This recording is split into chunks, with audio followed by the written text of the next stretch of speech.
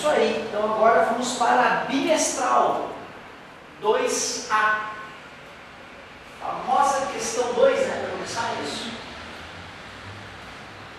Então vamos lá, bimestral 2A, questão 2.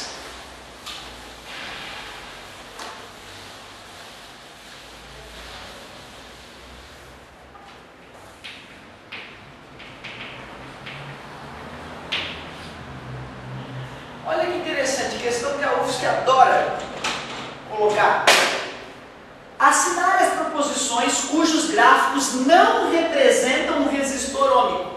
E aí tem seis gráficos para a gente selecionar. Um primeiro gráfico I versus V, corrente elétrica versus tensão. Um segundo gráfico V por R, e é o gráfico com essa característica aqui. Terceiro gráfico era um gráfico V por I. Observe como estão mudando os valores dos eixos coordenados. O quarto gráfico da alternativa 08 era V por R mais uma vez, só que ele tinha uma característica bem diferente da, do anterior. No item 16 era um gráfico R por I, horizontal também. E na alternativa 32 era um gráfico R por vê desse jeito. Primeiro, o que, que é um resistor, resistor ômico? Tem duas maneiras de pensar nisso, o que, que é um resistor ômico. Ou, é, ou tu pensa, é aquele que possui resistência constante, mas como resistência é V sobre I, eu também posso dizer é aquele cujo valor V sobre I dá um resultado constante. Então eu tenho que procurar no gráfico resistores cujo R dê sempre o mesmo.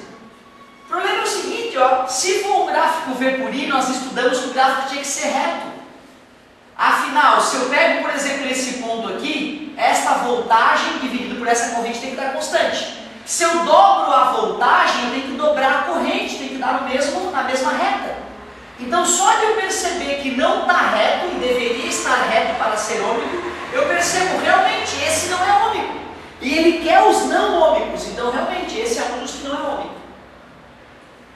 Olha aqui, para essa, para essa voltagem, para essa mesma voltagem, vamos supor aqui 100 volts, ora a resistência tem um valor, ora já aumentou, e agora já aumentou mais ainda. Então é um absurdo, tem várias resistências para uma mesma voltagem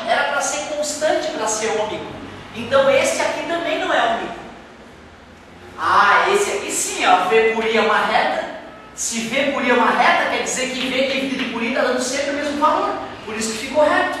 Então esse aqui não é ômico, esse aqui eu não quero. Esse aqui é ômico, né? Eu não quero, eu só quero os não ômicos. Ah, essa aqui, olha aqui, por exemplo, vou imaginar que aqui é 20 ohms. Está vendo que para várias voltagens o R é sempre 20. Então este é ômico e eu quero os não ômicos. Esse aqui é ômico.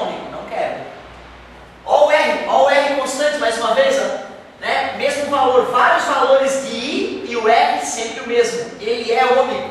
Então, não quer. Esse cara não é ômico porque a voltagem aumenta, o é R aumenta junto. Ó, não podia aumentar, tinha que ser constante para ser ômico. Eu quero o não ômico. Então eu tenho 34, 35. São os resistores. Opa! Esse é constante. Então eu não quero. É isso aí. 32, 34, 35. Esses são os não mais uma questãozinha.